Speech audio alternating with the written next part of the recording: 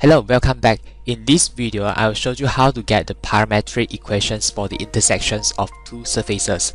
Recall back from your 2D two-space equations. When you are given y equals to x squared and y equals to 2x, so you are asked to find out the intersection points between the two curves.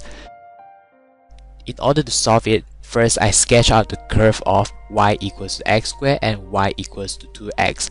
And apparently, there are two intersection points here. So to solve it, you actually to substitute the first, actually equate the first equations to the second equation, which means that x squared equals to 2x. And you rearrange it into x squared minus 2x to get the intersection points, which is x at 0 and x at 2.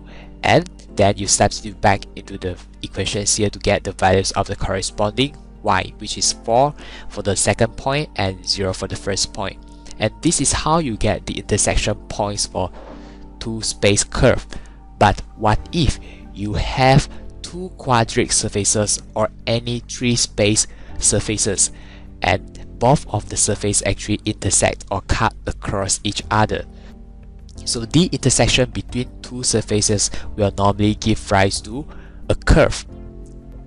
Let's use the example of elliptic paraboloid again, our favorite quadric surfaces. This is the typical standard form of elliptic paraboloid and it is being cut across by a plane of z equals to 4.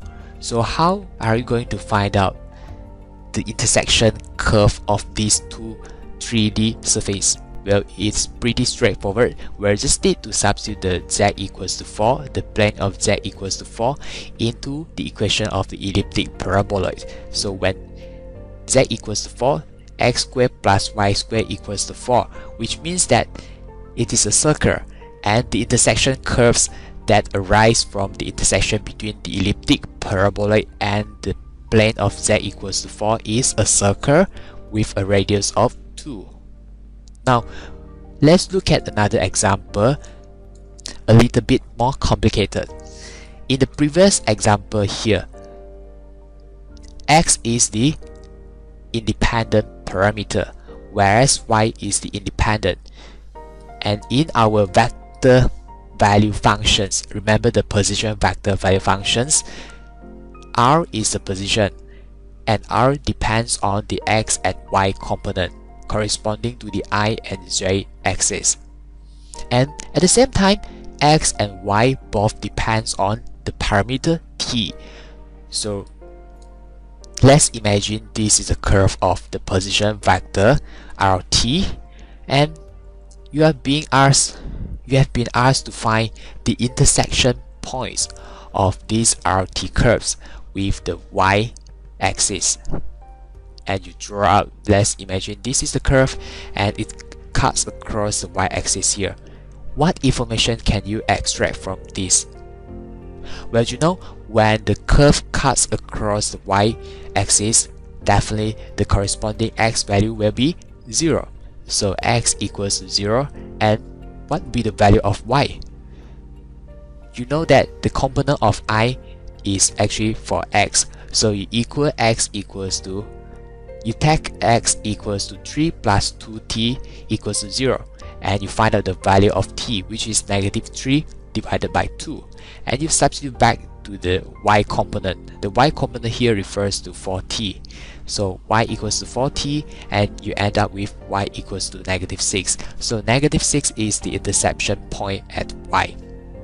And now we move on to three space curves you have this position vector of rt equals to ti plus 1 plus 2tj minus 3tk which intersects with another 3 space curve. A plane of 3x minus y minus z equals to 2. So how are you going to solve it? Recall back from the 2 space solution here. How are you going to find out the intersection point?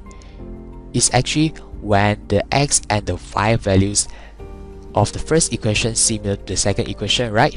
So similar concept to be applied here, where the x component of the position vector here should similar to the x component of the plane here.